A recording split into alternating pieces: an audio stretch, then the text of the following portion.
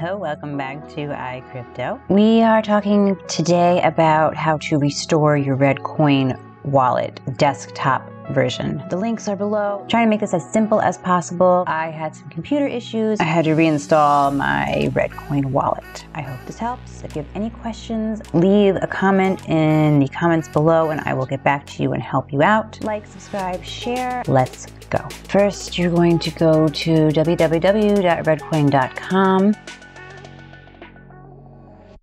before we continue. If you are downloading Reddcoin Core Wallet onto a computer that has previously had a Reddcoin wallet on it, you need to go into your computer and delete all folders, data of Reddcoin wallet that you had in there previously. Delete Reddcoin application, all app data, program files that contain Reddcoin, and that's it. Click on download wallet. Choose your operating system you have.